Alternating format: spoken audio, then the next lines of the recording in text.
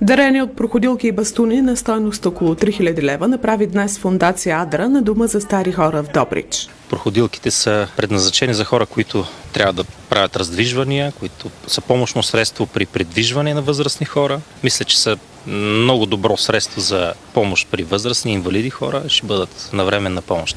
Аз бях в община Генерал Тошево тази сутрин. Там подарихме 17 броя проходилки, а за община Добрич сме приготвили 20 броя проходилки и 20 броя бастуни. Фундацията е част от Adra International, добре позната на, на всеки българин. Тя е вече от около 25 години в България и успешно работи в много сегменти в, на социалното подпомагане. Проходилките са дарения от Адра Германия чрез Адра България. Благодарим на нашите дарители.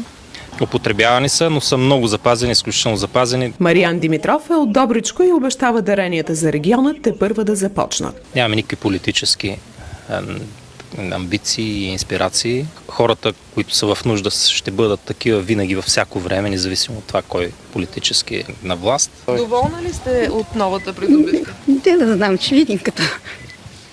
Удобна ли ви е? Как е? Ми, като се кача да видим, ще върви или няма ли. Е, ще трябва да върви. Да, И до сега сте ползвали подобно? да, да. От нея доволна ли сте? А, от нея не сме доволни. Не съм доволна, защото ето нещо чупено тъй през средата. Била е щупена Да, стара. да, да. Тази е здрава. Тъй, добре. Доволна ли сте?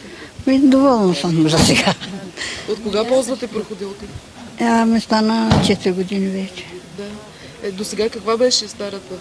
Ами старата м, спирачките не можех да свикна с тях, защото първата ми беше надолу ги натискам тъй. Капацитета на дома е 112. А, относително е колко души имат нужда, защото виждате, че те дори да имат проходилки, тези, които в момента се предоставят, са с повече предимства и вероятно всички ще искат да имат новия вариант с спирачки. Много сме удовлетворени от дарението. Обедени сме, че ще продължим и за напред.